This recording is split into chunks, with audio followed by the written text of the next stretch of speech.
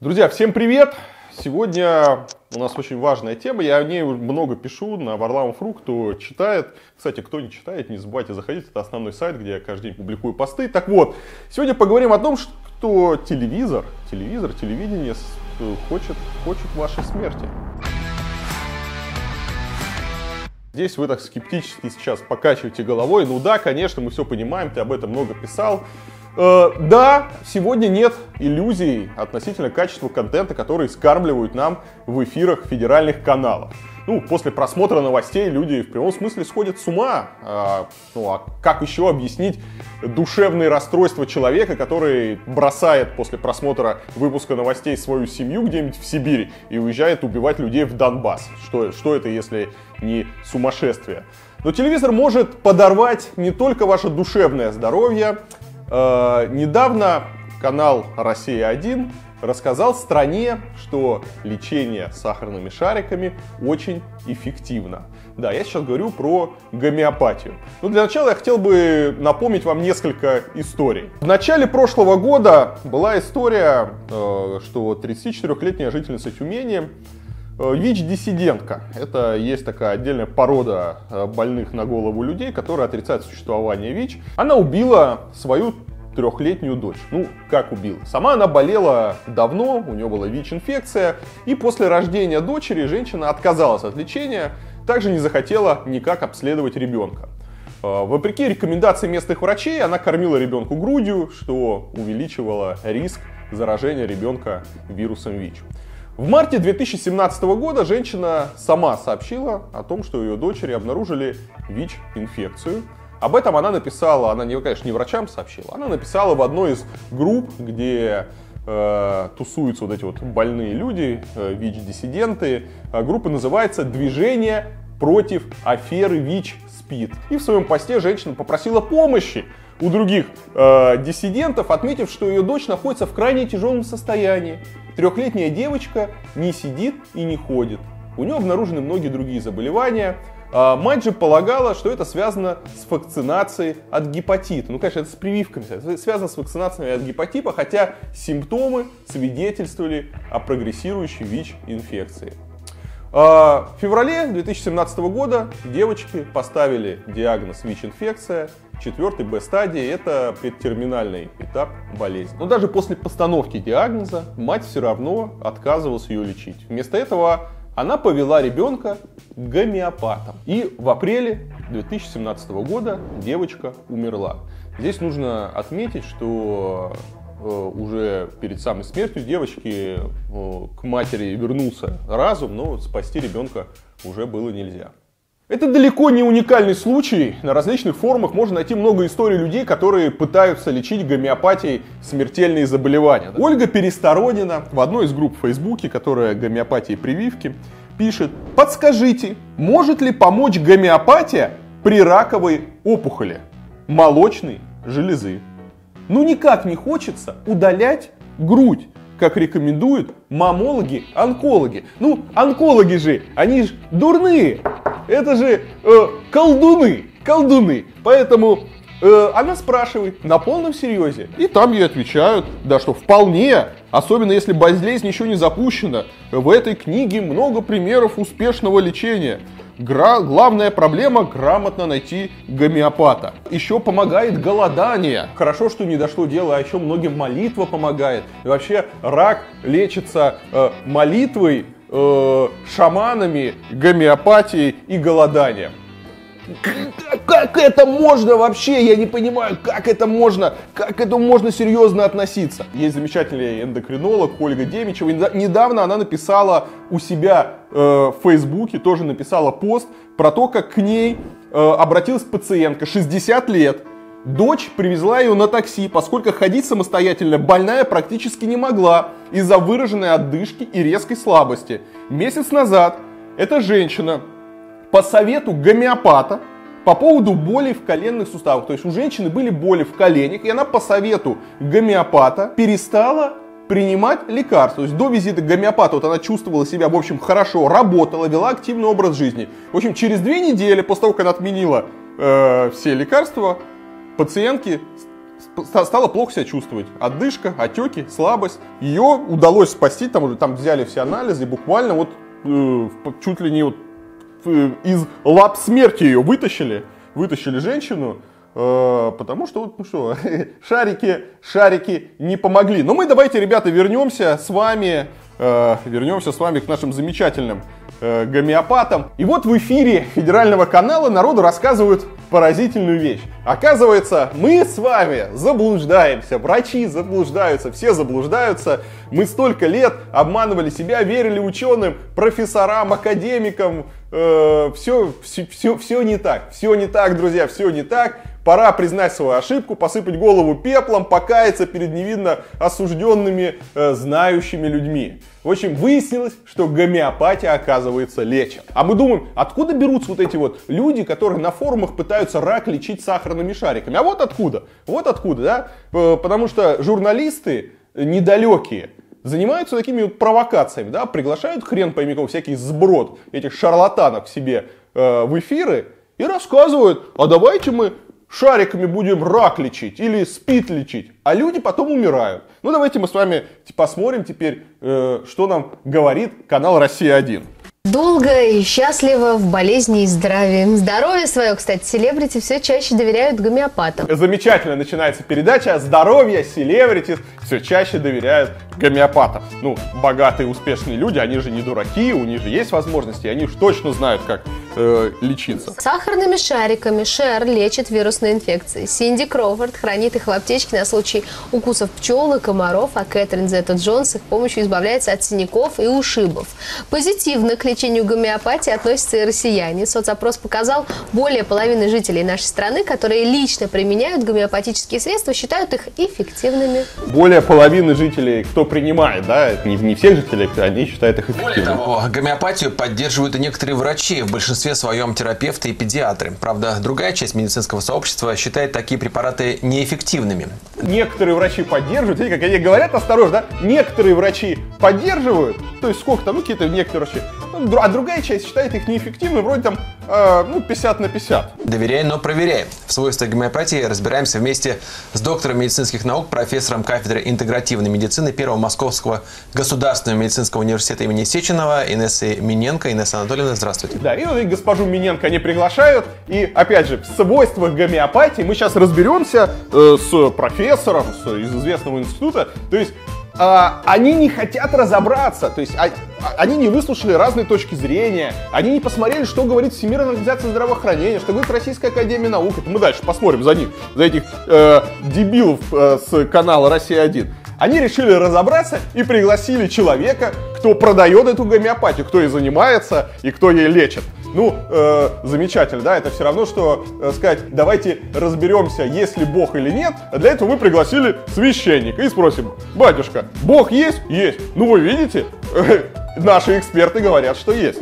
Добрый вечер. Здравствуйте. Ну, как-то люди изменили свое отношение к гомеопатии. Все больше и больше отдают ей предпочтение.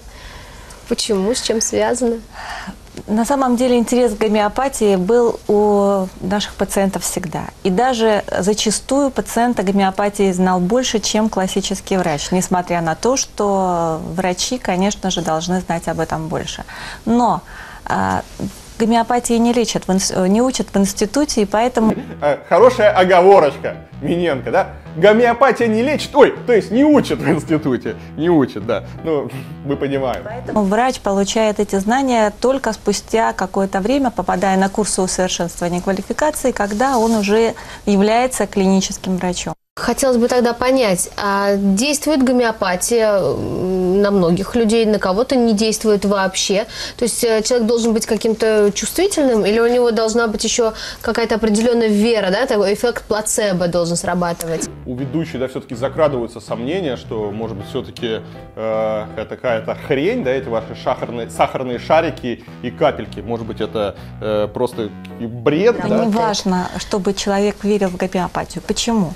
Потому Потому что гомеопатия э, очень хорошо влияет на животных. Верят ли они в гомеопатию? Большой вопрос. На младенцев. А че Она на, на, на всю страну. На всю страну она говорит, на младенцев хорошо влияет гомеопатия. И сейчас куча ебаных мамочек, вот эти вот там мы не делаем прививки, мы против прививок, мы ничего не существует, это все заговор фармацевтических компаний, которые хотят нас убить, мы будем лечиться э, молитвой, травками, э, святым духом и сахарными шариками. Какой нет? И она говорит, да, на младенцев, очень хорошо действует на младенцев. Но клинические испытания проводились и в ветеринарии, в гомеопатической, именно на младенцах, которые э, были недоношенными и содержались в роддомах. На младенцах проводились клинические испытания. Что ты несешь? Что ты несешь? Нету, ребята, запомните, нету никаких клинических испытаний, которые нету никаких исследований, которые бы э, говорили об эффективности гомеопатии. Запомните, в медицине есть такое понятие, как презумпция виновности. То есть пока не доказано, что средство оказывает какой-то положительный эффект, нельзя считать его эффективной. Нету никаких клинических исследований, которые показывали бы эффективность гомеопатии. На каких младенцах она проводила? Где эти исследования? Человек должен быть особенным в каком плане? Здесь зависит от препарата. В гомеопатии существует огромное количество препаратов. И только один препарат в данный момент времени подобен человеку. Нужно найти подобный сахарок, нужно найти, который будет тебе подходить. Человек особенный. Э, нужно вот найти к нему путь. Препарат должен быть настолько подобен человеку, чтобы подходить ему ну, хотя бы на 75-80%. Что это значит? Э, в каждом препарате описаны так называемые в реперториумах самые интересные и необычные э, особенности. Интересные и необычные особенности у нас в каждом препарате, в каждом шарике, вот этот вот там в каждой колбочке у нас что-то там, там лягушачья лапка, э, тут э, пыль э, из ноздри носорога, тут еще что-то, и все у нас так весело, так здорово, что вот только э, э, каждому человеку нужно уникальное зелье подобрать, поэтому ходите люди к колдунам. Это поза пациента во сне цвет глаз, цвет волос, а, что ему снится, какие у него бывают делюзии, то есть что с он какой какие ноги видит. встает с кровати. Приблизительно так. К сожалению, это самая большая проблема, с которой сталкиваются наши пациенты. Они приходят в аптеку, подходят к аптекарю и спрашивают, скажите, пожалуйста, а что от насморка я могу купить? И э, ну, аптекарь хочет помочь человеку, как любой фармацевт, то он дает какой-нибудь препарат. Купи веревку и мыло, если ты дебил собрался лечиться гомеопатией. Все, не мучайся. Вот тебе лучшая гомеопатия будет. Что еще купить можно? Нас всегда обучали, что это такой накопительный эффект, ее нужно долго принимать, и потом спустя много-много лет что-то у вас проявится. Нет, гомеопатия может быть и скоропомощной, и даже существуют учебники по гомеопатия в скорой помощи. Я даже в книжный пошел, хотел купить себе учебник «Гомеопатия скорой помощи». А, мне кажется, она стебется. Мне кажется, она стебется. Гомеопатия скорой помощи это когда ты живешь в России, где-нибудь в регионе, в провинции, в каком-нибудь селе, куда дороги нет. У нас же самая большая и самая богатая в мире страна. И у нас все деньги уходят на Олимпиады, чемпионаты, а во многие населенные пункты скорая приехать не может. Это называется гомеопатия скорой помощи. Когда э, у тебя что-то случается, а лечиться можно только травкой и святым духом. Алло, гомеопатическая скорая помощь. У нас человек умирает сейчас все будет, да, и приезжает доктор, так, шарик сюда, шарик сюда, и все будет хорошо. Если это хроническая патология, излечение происходит от заболеваний, которые были недавно. Например, у вас недавно были сопли, и вам их начали лечить, но потом начинают излечиваться те заболевания, которые были до этого. Например, у вас болело ухо. И начинается, вы чувствуете, что прошло и то, и то что болело когда-то. Потом у вас может... Геморрой прошел, э, хромота прошла, глухота, слепота. Назад. Причем, простите, э, поможет оно в результате того, что мы изначально от сопель принимали? Да. Ага, а то есть такое общее, общее оздоравливающее. От, от чего вы принимаете? Препарату не важно, что вы принимаете, поможет, друзья, от всего. Вы, главное, бабло несите, бабло, а там все поможет. А чем больше бабла вы несете, тем эффективнее будет препарат. Как у цыган, да, ну что, ну за 100 рублей я тебе что нагадаю, а вот за тысячу уже любовь тебе найду, а за 10 тысяч еще подскажу, куда звонить. Это медицина персипативная. Что это значит? Это значит то, что врач и пациент находятся в консенсусе. Они находятся в, на одной стороне при лечении того или иного заболевания. То есть они работают творчески и вместе, как в команде. Остается только пожелать найти э, правильного врача, с которым сможешь э, синхронизироваться. Да, это самое большое, самая большая будет у вас победа в вашей жизни, если вам удастся найти такого врача. Спасибо большое. Что это было? Какой пи***? Это? Какой пи***ц? Медицинские исследования на младенцах. Гомеопатия скорой помощи помогает в момент. Учебник нашел, но я нашел сайт, где рассказывается, значит, о чудесах гомеопатии. Только рецепта там нет, нужно денег заплатить, нужно заплатить денег, и тебе дадут рецепт. Я не жадный, ребята, я не жадный, я вам сейчас, я вам сейчас дам. Значит, что нам пишут? Э, ангина исцеляется при помощи гомеопатии за 12 часов. 12 часов ангина. Без осложнений и антибиотиков. Все выявит. Значит, простуда, грипп, э, ОРЗ в течение первых 6-12 часов. Значит, вывих, растяжение за сутки можно вылечить. Депрессию за один прием, хронический один за один прием. А дальше нужно заплатить денег было за рецепт. Я честно, я, простите, я не стал этим, этим пи*** давать деньги, э, поэтому простите, простите. Значит, э, то есть в то время, как лучшие ученые пытаются бороться с болезнями, оказывается, все давно придумано. Придумано сахарный шарик, и все прошло. С одной стороны, это очень смешно, но с другой стороны, я понимаю, какое количество людей, они же смотрят телевизор, да, они же читают этот и им кажется, что это действительно нормально. Так, друзья, давайте разберемся, что такое гомеопатия. Это метод лечения, который придумал давным-давно разочаровавшийся в медицине немецкий врач Самуэль Ганимам. А, было это в конце 18 века. В общем, а, скепсис Ганимана по отношению к медицине понятен. Врачи в то время, еще раз, речь идет про 18 век, использовали совершенно ненаучные, порой довольно опасные методы лечения, вроде, например, кровопускания. На этом фоне э, Ганиман заметил, что хинин, которым тогда, э, да и сейчас лечат малярию, э, вызывает, сам по себе вызывает жар. А поскольку основной симптом малярии это высокая температура, он решил, что любую болезнь можно лечить тем средством, которое вызывает ее симптомы.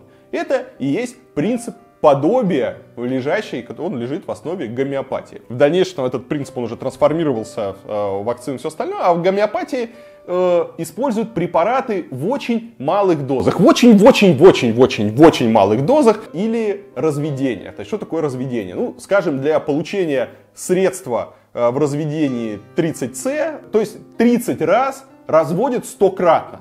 Вы берете один там объем вещества и к нему 99 э, объемов воды и это все перемешиваете, встряхиваете, опять оттуда берете один объем вещества, опять э, 99 объемов воды и так 30 раз. В общем, гомеопаты считают, что при каждом разведении сила препарата, она возрастает. Э, в эпоху Ганимана атомная теория вещества еще не была общепринятой, поэтому казалось, что вполне естественно, что вещество можно разбавлять сколь угодно сильно. Ну, как, какая разница, да, все равно какое-то чуть-чуть вещества будет, как-то память воды, вода все помнит. Сейчас же ясно, что при разведении 30С, то есть 10 э, в 60 степени, в пробирке не останется ни одной молекулы исходного вещества. Какое бы ни было вещество, вы можете э, крысиный яд там растворять. После вот этого 30-разового сотенного разведения не останется ни одной молекулы. Да будет Просто вода. Гомеопатия – это лженаука. Вот что об этом пишут в Российской Академии Наук.